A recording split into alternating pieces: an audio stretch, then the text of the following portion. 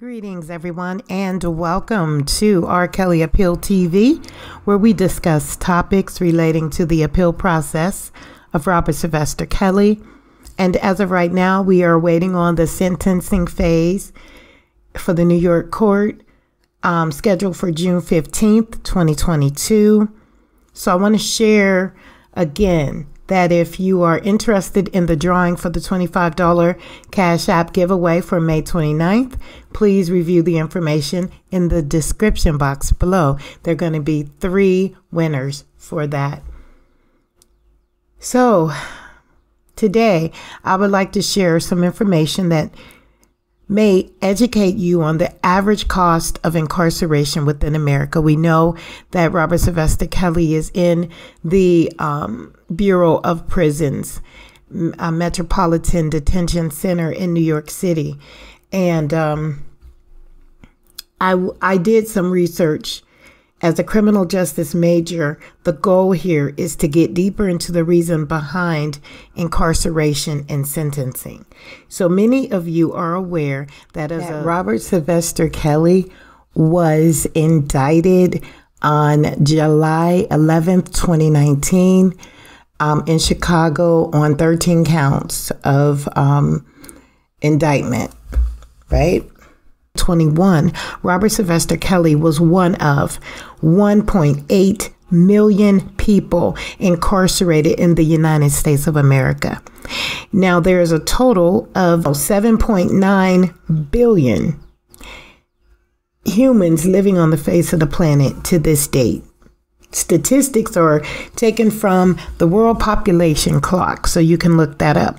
Now, according to the Federal Registry, within the Bureau of Prisons Justice, September 1st, 2021 um, document. They were addressing the Office of General Counsel at 321st Street, Northwest, Washington, D.C., 20534, researched by Sarah Qureshi. Telephone number 202 353 8248. Now, under Title 28 of the Code of Federal Regulations, allowing for assessments of a fee to cover the average cost of incarceration for federal and state inmates. We will be calculating the cost representing the Bureau of Prisons monetary obligation based on 2019 information. They tend to reevaluate the statistics every four years. So, based on fiscal year 2019, an inmate within the federal prisons in New York, for example, was charged an average cost of 66,000 per year. This breaks down to almost $200 per day per inmate. And then I'm going to show you a table that's going to share with you exactly the overall cost Okay. Now, according to Vera.org, prisons are institutions where all aspects of life are conducted and administered. The basic essential needs are staggering to the system's burden to providing adequate levels of security, programs, and administrative staff to run the facility, to supervise and provide services to incarcerated individuals, food distribution and educational opportunities, infrastructure maintenance, and upkeep are needed to effectively run a prison, right? So now we're going to talk about the increasing operation, the increasing operational cost and significant levels of physical and mental health concerns. So that goes on in prison as well. People find out that they're sick because they now can pay more attention to their bodies while incarcerated. So that there's a significant level of physical and mental health concerns that go into this astronomical cost that I'm going to share with you as we go on. So, out of 45 responding states, now, you know, I think the United States has 50 states. So, out of 45 responding states, okay, so I had to really look at these commas. So, out of 45 states that reported their expenditure total for one year was 42 billion 883 million five hundred and thirty-seven thousand five hundred and ninety dollars of incarcerated financial expenditures. What are your thoughts there? Because of the size of each state, the um, the expenditure count varies, and there was a variation of how much each state receives.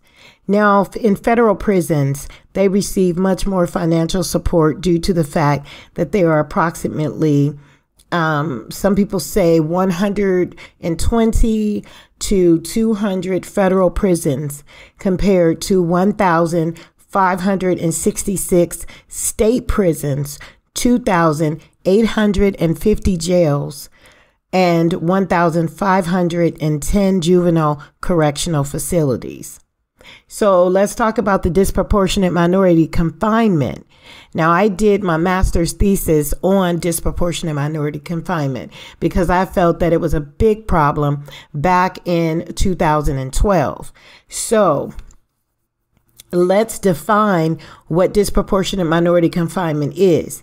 It's a condition that exists when a racial or ethnic group representation in confinement exceeds their representation in the general population. Now, out of the 1.8 million people incarcerated as of 2019 in the first statistic we discussed, the African American, according to the Bureau of Justice publication in 2019, at year's end stated there were 1,096 black prisoners per 100,000 black residents, 525 Hispanic per 100,000 Hispanic residents, and 214 white prisoners per 100,000 white residents.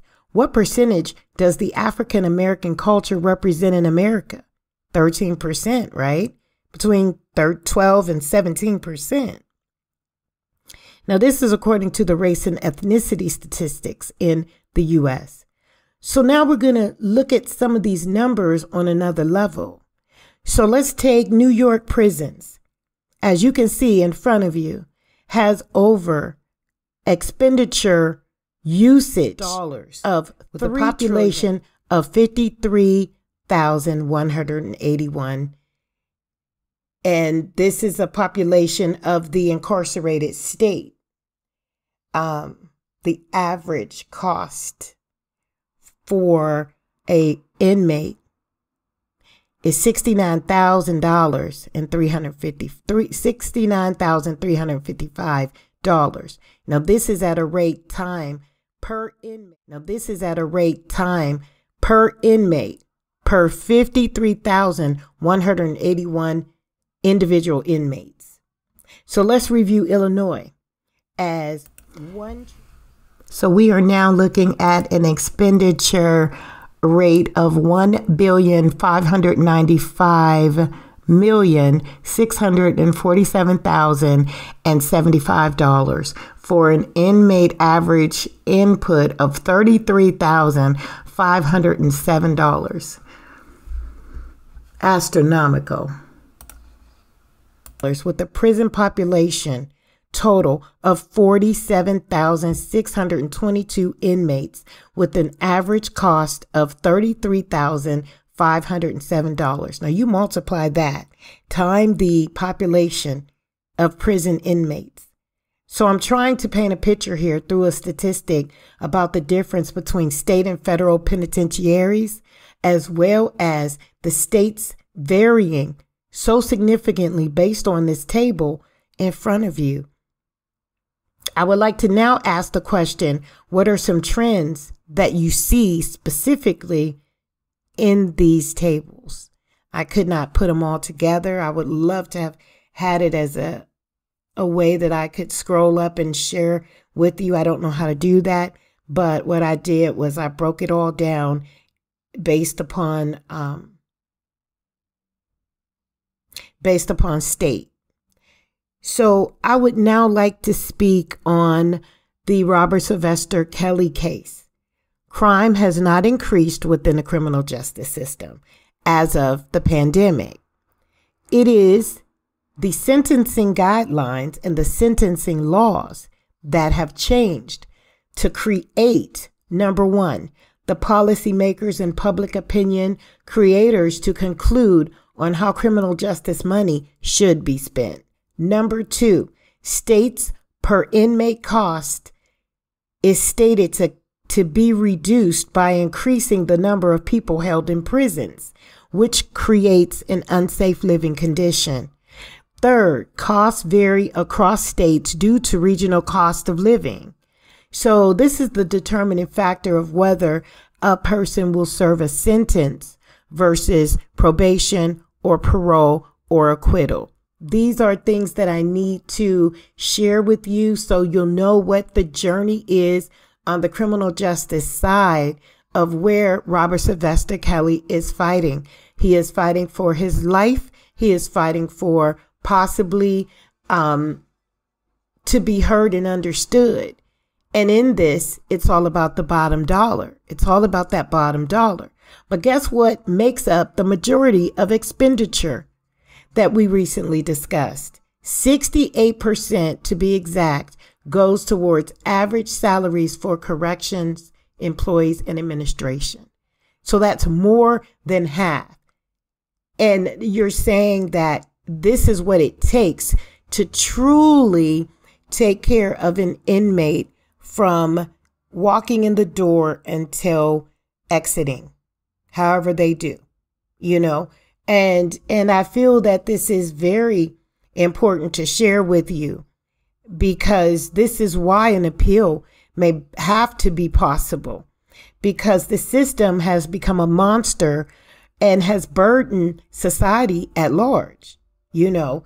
Um, the criminal justice system um, how does this affect robert sylvester kelly? You know, let's let's get your opinion on that. Because if you think about it, the sentencing is in New York. It's going to produce more income than the Chicago trial, right? So New York is more um, how can I put it, indebted to serve a sentence there than Chicago.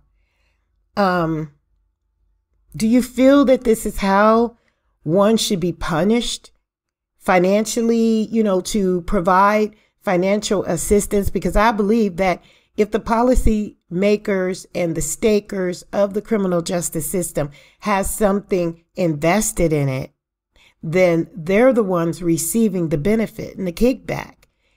They're hiring and employing over 68% of it, of of corrections officers and administrators that is not overseeing correctly and properly the inmate course the inmate that is incarcerated.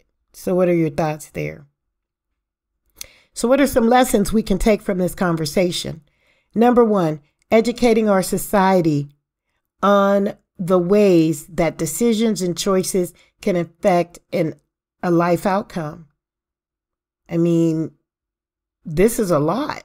If it's boiling down to money, how do we make sure we don't fall trap to this incarcerated state, to this state of being?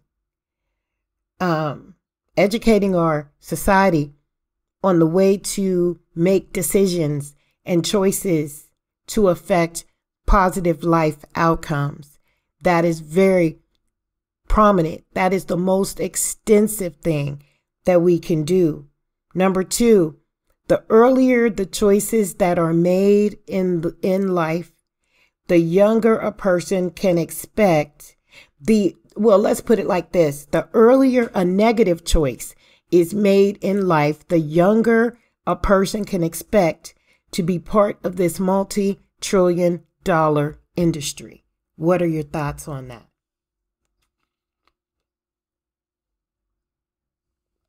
Yes, and I thank you for reiterating that statement. Um, one of my commenters just said that the younger you are, when you make positive situations, the further away from this criminal justice system you you go. So you're going in the positive direction away from the system.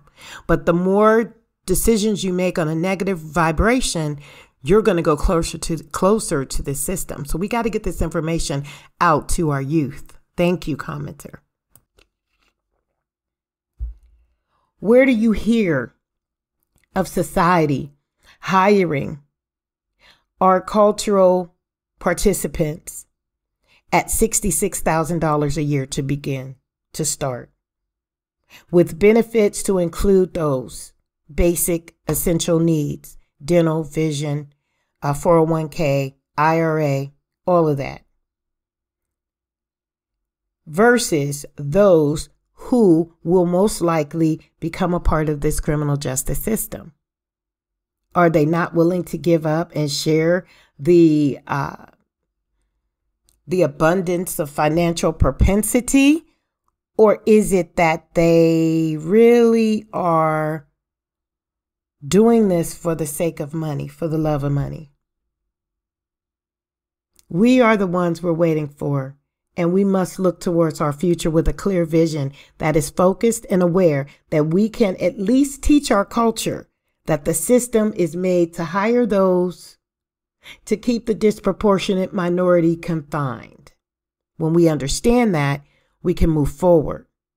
What are your thoughts about the statistics of how much of the population the minority makes up to the population within the prison system that produces expenditures in the trillion dollar area mark. This is a problem for America. You know, I recently seen a fight that was on social media, of course, between two minority teens in school. The girl caused her victim to have a concussion by virtually attacking her, just just going up to her and attacking her. Now the victim is afraid to go back to school and has to be homeschooled while the perpetrator remains in school. This is now a criminal case that will haunt this young lady, the perpetrator, who who obviously is another victim of crime because she obviously seen something in order to be this aggressive okay? To brutally attack someone to where it takes a teacher to tell her, call her name four or five times, and take two uh, students to pull her off of the victim, you know, just because she felt like doing it. And she said she felt good having done this after it was all over. But will she feel that way 10 years from now? And these are the extreme scenarios that our youth are under when it comes down to the public school system. And then I ask the question is the public school system just as equally balanced to the criminal justice system? Because these are the only two educational sources that we can either move through or go into and it's just it's it's something so these stories make me say with confidence that the system doesn't always come looking for a minority to incarcerate we have to be accountable the system does not always come looking for a minority to incarcerate however it is bad enough that with all the stories we hear one can see why they can easily make up something that quote could have taken place Unquote. What are your thoughts?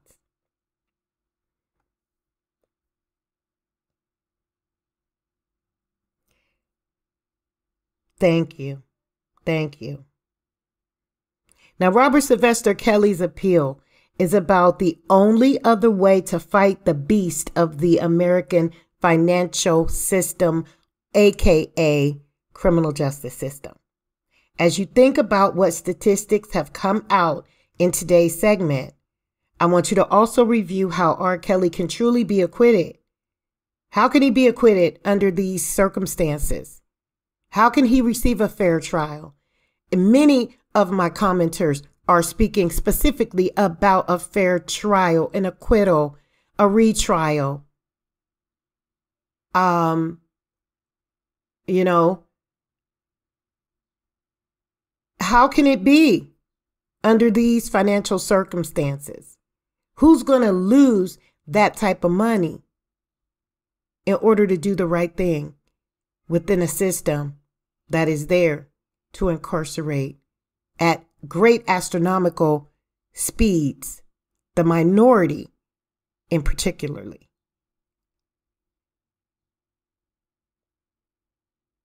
How can he truly be acquitted, regardless of the lies and the allegations against him, without an appeal?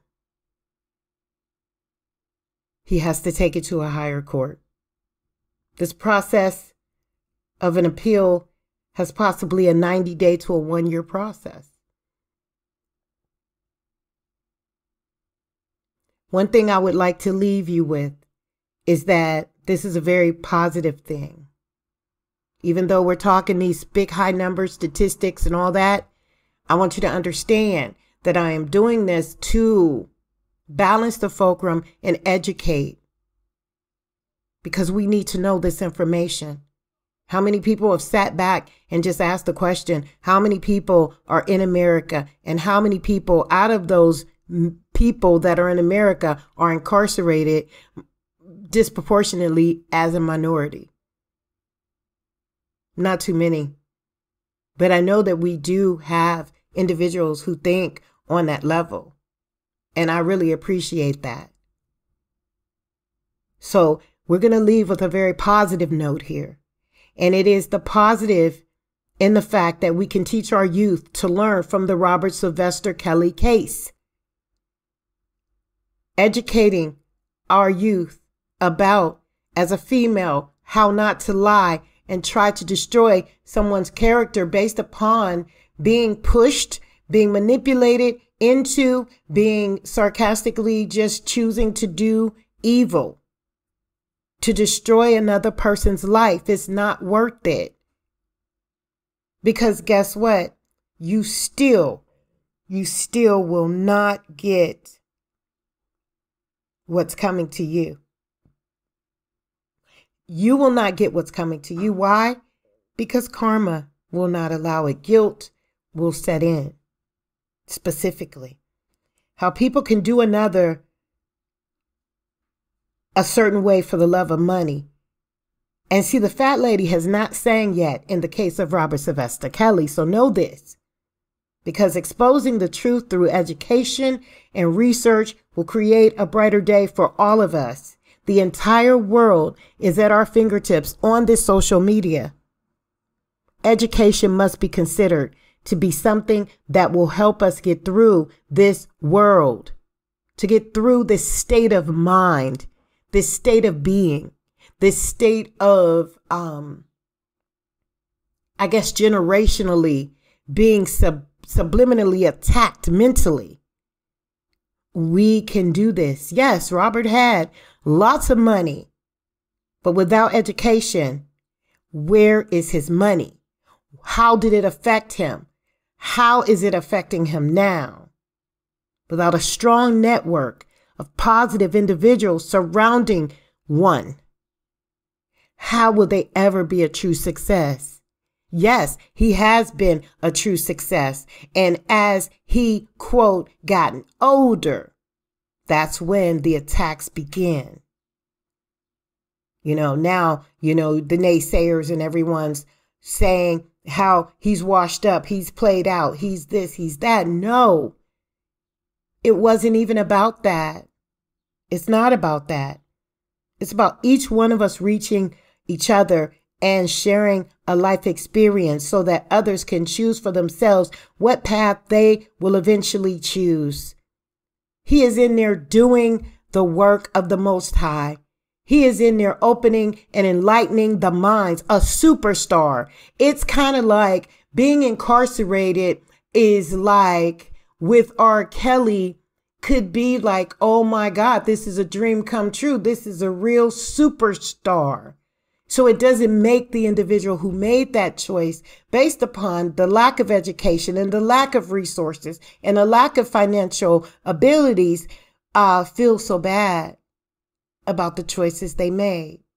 Because now they know that no matter what, crime affects everyone. Even when a person lies crime affects everyone. each one reach one, and share your life experiences so that others can choose for themselves what path they will eventually choose because they see you as an example. They see your as a living witness. They see you as a living witness. I'm sorry. But in the end, the choice is 100% theirs. After we have at least made them aware, let's make them aware. Let's not keep failing our culture, our children. Educate them, read to them, help them with financial literacy. Tell them that it takes over $200,000 to take care of a child from birth to the age of 18 years in America. And if they don't have three times that in their uh, in, in their bank account, they shouldn't be thinking about making babies because they can't support them. So you have the criminal justice system, the educational system, and the the welfare system. That's holding a lot of people back. But we can invest more in our culture, in our society, if we just thought. Think it through. Think it through. Thank you so much for liking, commenting, sharing, and subscribing to this podcast. I will keep you posted. When I know something, you'll know something. And as always, keep it 100, and we'll see you next time.